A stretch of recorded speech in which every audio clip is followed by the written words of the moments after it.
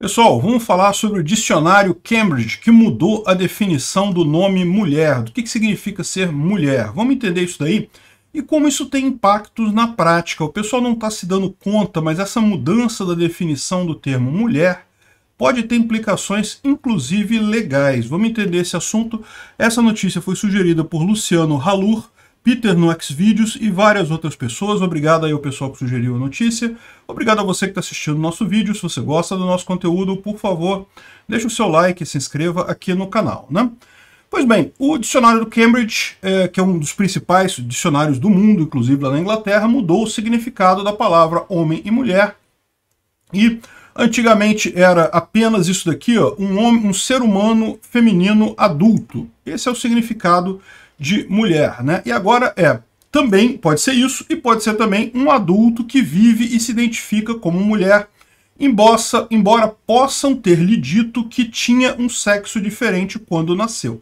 Então repara, um adulto que vive e se identifica como mulher, né? Repara que a definição que eles estão colocando aqui é autodesignatória, ou seja, a pessoa se identifica como mulher e ponto final qualquer pessoa que disser que é mulher, é mulher por essa definição. E veja, as pessoas costumam não entender isso, mas o fato é o seguinte, a lei ela depende da definição das palavras. Né? Se diz lá na Constituição, em determinados artigos de determinadas leis, que a mulher tem tal privilégio, que a mulher tem tal uh, penalidade, enfim, existem crimes que são, uh, só podem ser cometidos contra a mulher, como por exemplo feminicídio, esse tipo de coisa, mas tudo isso depende da definição de mulher, né? E se uh, a definição na língua, nos principais dicionários, passou a incorporar essa definição de que qualquer pessoa que diga ser mulher é mulher, isso pode gerar alguns problemas. Eu vou dar um exemplo aqui. Eu não vou dizer o que está certo, o que está errado, eu acho que isso daí é uma outra discussão, é, é o que eu falo. Eu, como libertário, acho que não tem problema nenhum as pessoas mudarem a definição das palavras, é direito, ninguém é obrigado a usar a palavra com termo nenhum. O que eu quero expor aqui é justamente o quanto isso muda dentro da, uh, do ordenamento jurídico brasileiro. Vamos ver o caso, por exemplo, da deputada estadual uh, eleita por Goiás pelo PSDB, Júnior Pinheiro. Né? Embora uh, algumas pessoas possam olhar para o Júnior e dizer que ele é homem, é, ele, é, ele se identifica algumas vezes como hétero, algumas vezes como bi, algumas vezes como gay, e no registro da candidatura ele se registrou como mulher. Vocês sabem, os partidos no Brasil têm a, a, a, a cota para mulheres. Né? Então, cota para mulher foi uma das leis que foi introduzida aqui no Brasil para uh, ah, aumentar o acesso de mulheres na política e coisa e tal. Eu acho um objetivo nobre, eu acho que realmente mulheres devem ter um, a mesma representatividade dos homens, muito embora eu faça críticas a esse tipo de lei pelo sentido simples que é discriminatório, né? Está dizendo que a mulher vale mais do que o homem, mesmo que a cota seja menor, seja de 30% só dos candidatos e coisa e tal. No final das contas, está excluindo pessoas de forma indevida. Né? As pessoas deveriam ser livres para se candidatar sem se submeter a nenhum tipo de restrição dessa forma. Dessa forma está limitando o número de, de, candidaturas masculinas. Por quê? Porque a feminina ela tem que, tem que preencher um determinado número ali. Então, eu concordo que o objetivo da lei é interessante, acho que a forma de fazer isso via uma lei é errado. Né? Lei não serve para nada no final das contas. Mas enfim, qual que foi o problema? Lá em Goiás, a senhora, eu não sei qual é o pronome que eu devo usar no caso, então eu peço desculpas ao Júnior se eu estiver falando errado aqui, mas o Júnior Pinheiro, uh, ele concorreu à vaga na Assembleia Legislativa de Goiás, no pleito de 2022, na cota feminina do partido, e ganhou a eleição. Ele e várias outras pessoas lá parece que foram eleitas, né? Foi o que eu entendi aqui, né? Eu não sei, olha só, volta atrás, eu não sei se ele foi eleito não, tá? A questão é que uh, eles tão, entraram na justiça agora contra o PSDB em Goiás, querendo impugnar todas, toda a candidatura, toda a chapa de deputados estaduais de Goiás. Por quê? Porque, em tese, eles falsificaram a cota feminina. Mas é que está o problema. Como é que você diz que o Júnior é uma falsificação? Né? Olha só o que eles estão dizendo aqui. Ó. Foi uma manobra para preencher a cota de 35%. Né? É, foram, é, for, forjaram a candidatura inventando uma mulher trans que não existiu. Mas espera aí. Mulher trans, eu, eu, tinha essa impressão também, tá? Eu, durante muito tempo, tive a impressão que mulher trans se referia a, ao, ao homem, a, é, nasceu homem, mas se transformou em mulher fazendo operação, ou seja, fez uma operação, então tem é, todos os requisitos, digamos, físicos que normalmente se costuma associar ao corpo feminino, né? Mas não, a definição agora, uma mulher trans é qualquer pessoa que se diga mulher.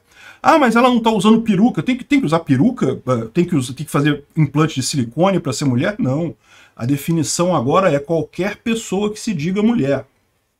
E aí, eles falam aqui, olha só, não porque é, ele sempre se declarou homem cis, apesar da orientação sexual. Inclusive, a candidatura dele foi registrada no portal Vote LGBT, que divulgava candidaturas LGBT como é, é, deputado estadual Goiás, bissexual branco. Ou seja, cada hora ele fala uma coisa, é gay, é bissexual, hétero, coisa e tal.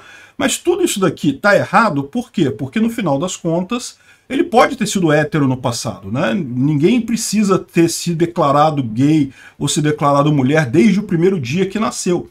Então, nada disso daqui resolve o problema que, pela definição de dicionário que a gente tem agora, se uma pessoa se declarar mulher, ela é mulher, e pronto, né? Então, bastaria para todos os efeitos o senhor Júnior ou a senhora Júnior Pinheiro, de novo, eu não sei o, o, pronome que eu devo usar aqui no caso, se, ele, é, é, se essa pessoa se declarar mulher, então pronto, não tem o que dizer. Né? Repara qual o problema que você está criando aqui. Por quê? De um lado, você criou uma lei para privilegiar as mulheres. De outro lado, você criou uma lei para relativizar a definição do que é uma mulher. E com isso você praticamente é, colocou tudo a mesma coisa. Né? É, isso aqui é, de certa forma, uma, um reflexo do que aconteceu, por exemplo, nos esportes femininos. Tem muita gente criticando o fato de que pessoas que nasceram homens e que têm uma estrutura corpórea masculina, né, a testosterona, ela tende a fazer ossos crescerem, músculos ficarem mais fortes, justamente por isso que existem categorias femininas, senão todo mundo competia junto, existe diferença na média entre homens e mulheres, mesmo a pessoa depois é, é, tomando inibidores de hormônio e coisa e tal, ela costuma ter ainda alguma vantagem. Não é sempre que acontece, mas costuma ter alguma vantagem ainda, né? E aí tem essa discussão também, mas e aí? Então, o fato de você igualar uma, uma mulher trans ou uh, uh, uma pessoa que nasceu homem e que se considera mulher agora, igualar ela a uma mulher que nasceu mulher, isso gera alguns problemas. Né? O que a gente está vendo acontecer é isso.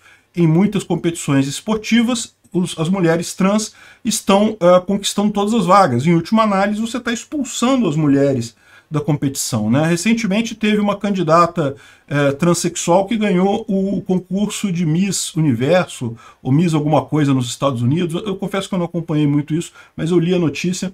E, ou seja, é, é, no final das contas, isso significa que é, nenhuma mulher de nascimento ganhou esse concurso e é, desse, dessa forma você está tirando o espaço das mulheres. Né? Então chega a ser uma coisa meio curiosa isso daí, essa, essa, esse problema. E é o que eu falo para vocês, é o problema do positivismo, né? de você tentar resolver as coisas por leis. A questão toda é essa. Não dá para resolver esses problemas culturais por lei.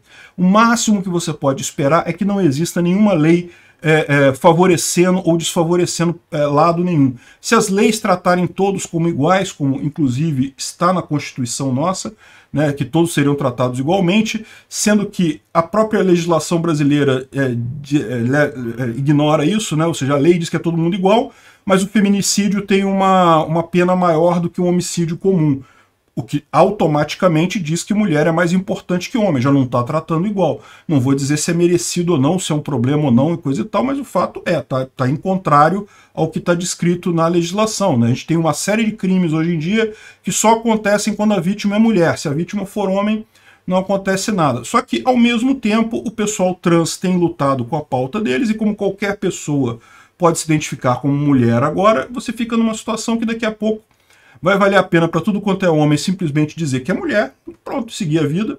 Porque, de novo, né, lembra que isso não quer dizer nada. Você pode continuar sendo uma mulher trans lésbica. Né? Você é, é, é, é uma mulher, mas você gosta de fazer sexo com outras mulheres. Então não tem nada que mude em termos sexuais nisso daí. Você começa a fazer é, o arranjo puramente pelo é, significado das palavras. Né?